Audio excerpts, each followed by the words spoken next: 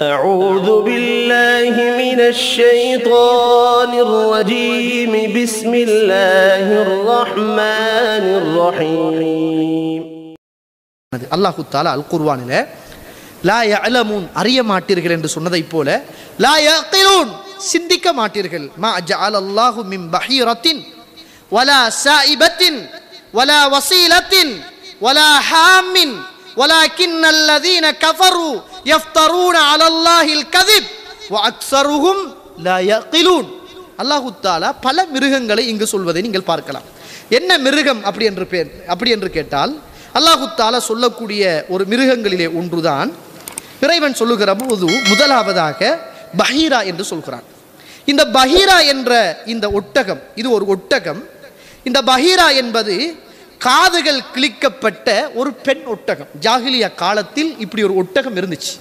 அல்லாஹு தாலா அந்த வசனத்தில் மா ஜால் அல்லாஹு மின் பஹீரத்தின்.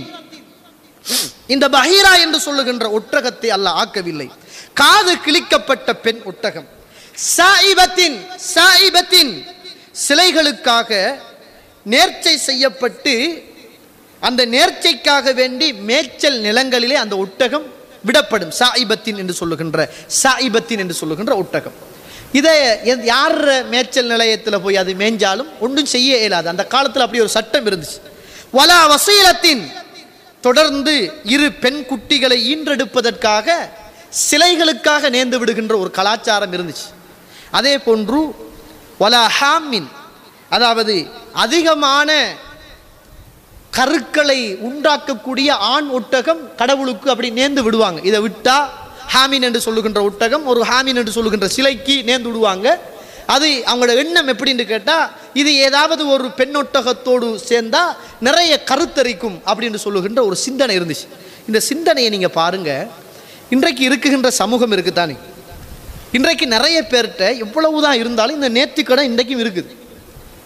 இந்த நேர்த்திக்கடன் என்று சொல்கிறது இன்றைக்கும் இருக்குது. அல்லாவுக்கு நேர்றதை நான் சொல்லலை. ரசூல்லா அதையும் வேணான்னு தான் யார் நேருவாங்க நேர் நேர்ச்சை செய்வாங்கன்னு கேட்டால் இந்த ஒரு பகுலண்டத்தை எடுத்து அல்லாஹுத்தாலா மற்றவங்களுக்கு கொடுக்கறது தான் நேர்ச்சைன்னு சொன்னாங்க ரசூலுல்லா அப்போ இந்த நேர்ச்சை என்பதை ரசூல்லா அவ்வளோ பெருசாக விரும்பலை. ஆனால் இன்றைக்கும் எங்களோட சமூகத்தில் நேர்ச்சை என்பது அதிகமாக இருக்கிறது. குர்வான் சுண்ணாவை பின்பற்றக்கூடியவங்க ஒரு மாட்டை அறுத்து நோக்கி கொடுக்குறது ஒரு ஆட்டை அறுத்து கொடுக்கிறது ஏதாவது ஒரு கோழியை வாங்கி கொடுக்கறது சாப்பாடு கொடுத்து விருந்து கொடுத்து இப்படி நேர்ச்சை செய்கின்ற ஒரு கலாச்சாரம் இருக்குது இன்றைக்கும் இருக்குது. இது தௌஹீது பேசுகின்ற சமூகத்தில். இந்த தௌஹீது பேசாத சமூகத்தில் இன்றைக்கும் கபர்களுக்கு ஆடு கட்டுறது மாடு கட்டுறது கோழி கொடுக்கறது உப்பு கொடுக்கறது மாவு கொடுக்கறது இந்த கலாச்சாரம் இன்றைக்கும் இருக்குது. ரசூல்லா சொல்கிறாங்க புகாரியில் ஆறாயிரத்தி நாலாயிரத்தி அறுநூற்றி இருபத்தி மூன்றாவது செய்தி.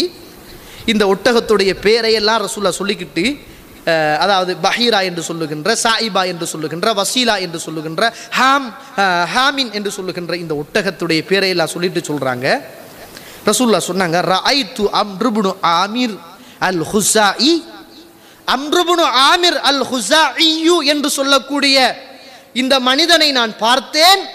எஜுர்ரு குஸ்பஹு ஃபின்னார். நரகத்தில் தண்ட கொடலை இழுத்து கொண்டு நரகத்துக்குள்ள போறதை நான் கண்டேன் என்னாங்க. இன்றைக்கு நிறைய முஸ்லிம் சமூகம் நேர்ச்சிக்கடன் நேர் நேர்த்திக்கடன் என்று சொல்லுகின்ற பெயர் ஊடாக கபறுகளை உண்டாக்கி காணிக்கைகளை செலுத்தி அந்த கபறுகளுக்கு ஆடுகளையும் ஆடுகளையும் ஒட்டகங்களையும் காசுகளையும் ஊண்டியல்களையும் அந்த ஊண்டியலுக்குள் பணத்தை போடுகின்ற மக்களும் ஒரு கணம் சிந்தித்துக் கொள்ள வேண்டும். ரசூல்லா சொல்லிட்டு சொன்னாங்க இவன் தான் இஸ்லாமிய வரலாற்றிலே அம்ருபுடு ஆமிர் அல் ஹுசாயி என்று சொல்லக்கூடிய இவன் தான் இஸ்லாமிய வரலாற்றில் முதல் முதலாவதாக இந்த கால்நடைகளை சிலைகளுக்கு நேர்ச்சை செய்த மனிதனாக இருந்தான். இவனை அல்லாஹு தாலா நரகத்துக்குள்ள போட்டான். அவன் தண்ட கொடலை இழுத்து கொண்டு நரகத்துக்குள் போனதை நான் கண்டேன் என்று ரசூலுல்லாஹி ஸல்லல்லாஹு அலைஹி சொல்கிறாங்க. வாக்சருகும் லா நிறைய பேர் அதை பற்றி அறிஞ்சு கொள்ள மாட்டாங்க. நம்ம எவ்வளவுதான் பயம் பண்ணினாலும் இந்த கபருக்கு நேர்ச்சி செய்யாதங்கடா வாப்பா. இந்த கந்தூரி கொடுக்காதங்கடா வாப்பா. இதெல்லாம் பாவண்டா வாப்பா. கொடி ஏத்தாதங்க. மக்களை கூப்பிட்டு வச்சு கூத்தாடி பாபாமார கூப்பிட்டு வச்சு வெட்டு கூத்து பண்ணி இப்படி ஒரு சமூகத்தை கெடுக்காதீர்கள் என்று சொன்னாலும் சிந்திக்க மாட்டார்கள்.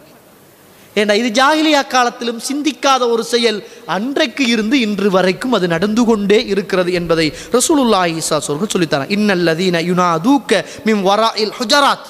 நபியே உங்களை அவர்கள் அறைகளுக்கு பின்னால் இருந்து அழைக்கிறார்கள். சூரத்துல் ஹுஜராத் நாற்பத்தி ஒன்பதாவது அத்தியாயம் நாலாவது வசனம். அக்சருகும் லா நிறைய பேர் சிந்திக்க மாட்டார்கள். என்ன சொல்லுது இந்த வசனம்? நபியே உங்களை அறைக்கு பின்னால் இருந்து அழைக்கிறார்கள். ஆனால் நிறைய பேர்கள் அதை பற்றி யோசிக்க மாட்டார்கள்.